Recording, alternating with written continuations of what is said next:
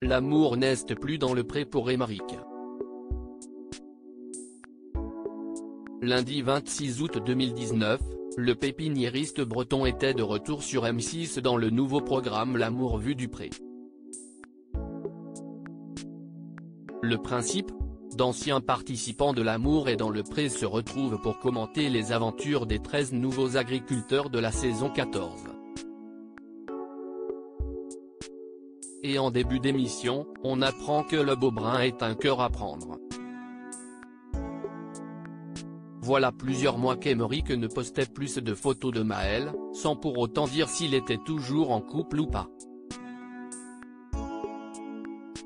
Eu comportement qui a intrigué de nombreux abonnés. Certains ont probablement passé des nuits blanches à cause de cela, oui, ne vous cachez pas. La fin du suspense est donc une délivrance. Espérons pour Emeric qu'il retrouvera rapidement l'amour. Pour rappel, il a participé à la dernière saison de L'amour et dans le pré. Il avait choisi Clémentine et Lucie pour venir passer quelques jours chez lui. Finalement, c'est au bras de cette dernière qu'Emeric avait terminé l'aventure. Mais l'idylle n'avait pas duré.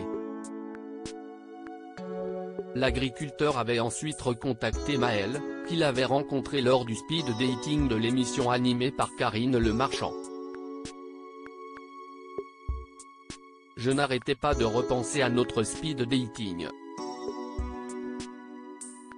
Au départ, je n'osais pas la recontacter, par respect, par peur. Et puis finalement, je me suis lancé.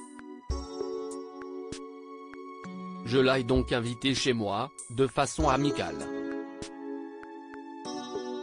Et quand je l'ai revu, c'était une évidence.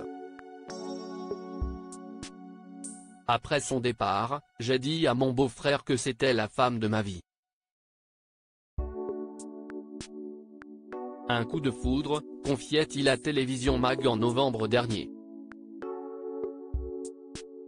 Une fois leur histoire d'amour officialisée, les anciens tourtereaux n'avaient pas hésité à montrer leurs sentiments sur les réseaux sociaux.